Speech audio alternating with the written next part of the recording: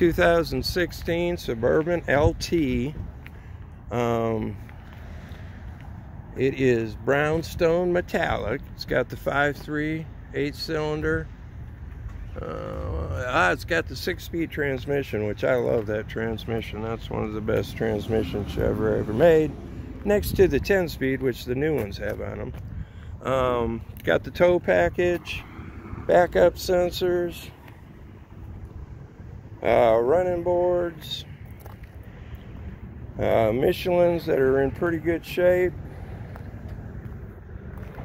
Um, leather interior, remote start, memory seats, Bose sound system, pedal extenders. These are your back parking sensors, that forward collision, uh, heated uh, seats. Like I said, it's got the remote start. Sounds good. Um, you got buckets in back. It has the heavy duty floor mats, WeatherTechs. You got the third row, which that folds down. Uh, you got a 110 outlet in back and a 110 outlet up front there. Um, these have a ton of space on them. Um, I pulled up the mileage on this and it was running 17.8, which is really good.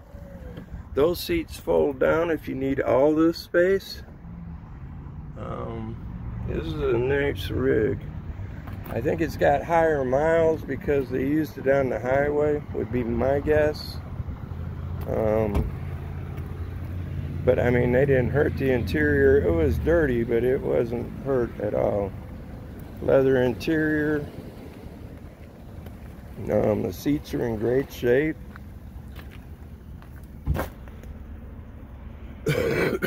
Super comfortable. Um, this is called Cocoa Dune. What am I forgetting? Nah, they got a couple little things on here. Uh,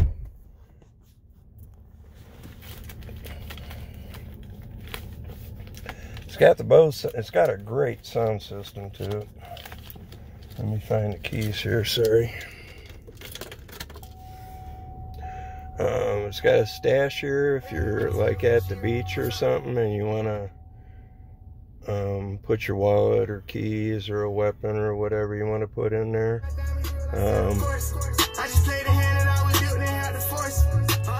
got a great sound system, heated back and butt just a heated back. Um, it is getting, and it's got navigation. It's getting 17.8 on the last 13,000 miles. That's pretty good for this big a boat.